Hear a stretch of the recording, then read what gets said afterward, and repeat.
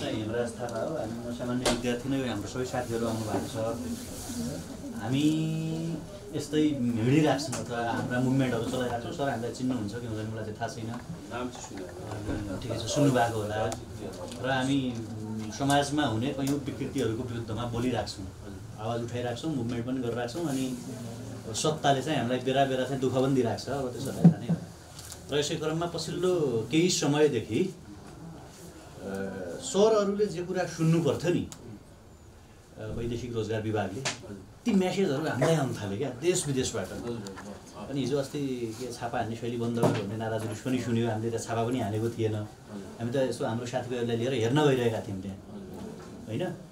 अनि जाँदाखेरि यहाँ केही म्यान पावरहरूले जुन भिजिट भिसामा पठाउने दुबईमा अलपत्र पार्ने युवाहरूलाई ठाउँ ठाउँमा जताततै अलपत्र पारेको पारे गर्ने जुन छ नि त्यो चाहिँ के कारणले हामीलाई म्यासेज आउँछ होला कि? म्यासेज सरहरूलाई आउनुपर्ने। सुनवाई वैदेशिक रोजगार विभागले गर्नुपर्ने। अझ हामी त सामान्य एउटा एक्टिभिस्ट मान्छे आफ्नो कुराहरू राखेर हिँड्ने मान्छे हामीलाई म्यासेजहरू आउनु थाल्यो क्या। अनि यो के रहेछ भनेर बुझाउन भनेर हामी चाहिँ आएको। एकदमै यो धेरै सान्दर्भिक र धेरै राम्रो प्रश्न गर्नुभयो। अब के छ भने यहाँहरू पनि यो देशको नागरिक हो। यहाँहरूको दायित्व पनि के छ भने यो देशका विकृति र विसङ्गतिलाई चाहिँ अन्त्य गर्नु पनि यहाँहरूको असल नागरिकको त्यो भूमिकै हो।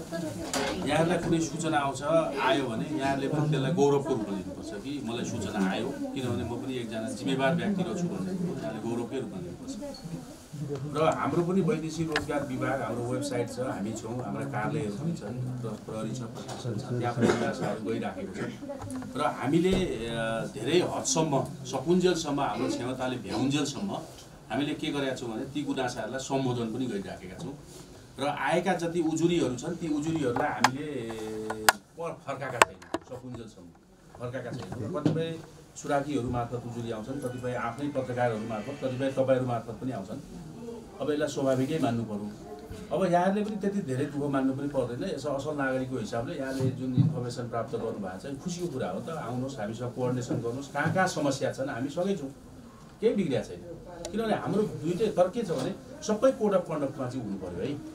हामी कसैलाई अप्ठ्यारो पार्ने कसैलाई अभद्र व्यवहार गर्ने कसैसँग नराम्रो गर्ने चाहिँ हामीले गर्नु हुँदैन तर भन्न त भन्ला तर हामी चाहिँ त्यस्तो प्रस्तुत हुनु हुँदैन तर के छ भने राम्रो कामका लागि यहाँहरूले पनि हामीले वाजडोपमा जाँदाखेरि आउँदाखेरि त्यो नराम्रो चाहिँ होइन जस्तो लाग्छ मलाई। आयो उजुरी भने लिएर आउनुहोस् न के के उजुरी छ अहिले छन् भने दर्ता गरौँ। ल्याउनु भएको छ भने। अहिले आउँदैछ।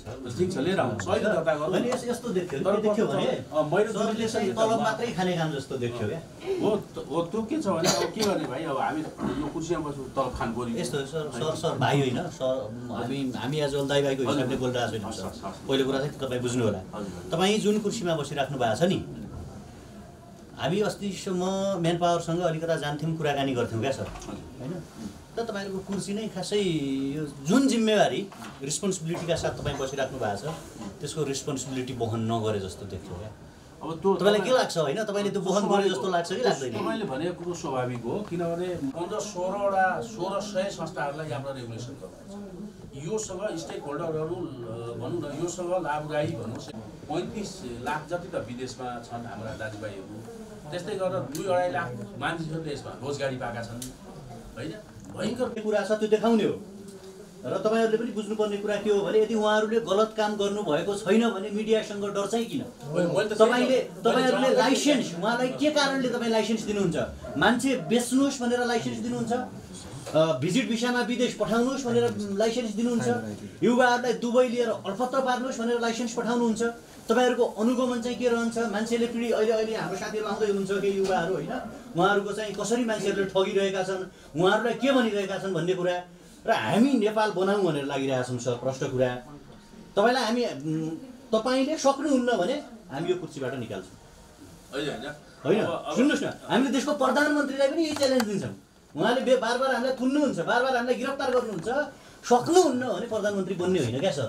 सक्नुहुन्न भने तपाईँ निर्देशकको महानिर्देशकको पदमा किन बसिरहेको नसकिने त काम काम रेगुलेसन भएन भने किन बस्ने भन्ने हो नि त। होइन, निकाल्दिँदा पनि भयो त होइन। युवाले चाहिँ थुत्छन् सर। युवाले चाहिँ गलत यो कुरा रियल हो सर? अच्छा, त्यसमा म सबै कुरो स्वीकार गर्छु त्यो विषयमा। तपाईँ निकालिदिनुहुन्छ निकालिदिनुहोस्। अहिले निकालेर पठाउनुहुन्छ पठाइदिनुहोस्। कहाँ पठाउनुहुन्छ त्यो मेरो लागि ठुलो कुरो भएन।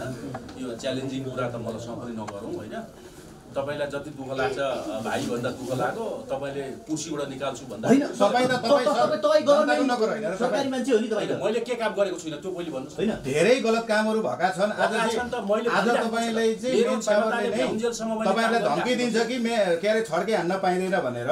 मैले त्यसको त प्रतिवाद त गरिराखेको छु। काम त गरिराखेको छु व्यवसाय सङ्घको एउटा सङ्घ छ होइन? उहाँहरू एकमुष्ट हुन्छ र उहाँहरूले चाहिँ तपाईँहरूलाई नै च्यालेन्ज दिएको पाइयो। छ, छौँ, देखाउन पाउँदैन भन्ने कुरा बुझियो क्या सर। होइन त्यो त तपाईँहरूले जवाब दिने विषय हो। मैले त के भनिदिएको छु उहाँहरूलाई भने मिडियाका एउटा कोड अफ कन्डक्ट छन्। उहाँहरू आफू जानुहुन्छ चित्त बुझ्दैन काउन्सिलमा जानुहोस्। उपचार गर्ने ठाउँहरू त्यहाँ होला। यो मिडियाको कुरा मलाई सुनाउने होइन। होइन त्यो त मैले सक् कसैले के के बोल्दै हिँड्छ भने सबैको जवाब दिने हो र मैले म त यहाँ कुर्सीमा बसेर मैले त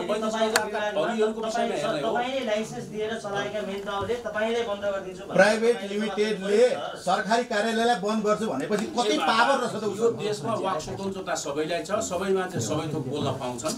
तर मैले गर्ने काम म गरिराखेको छु र गर्छु।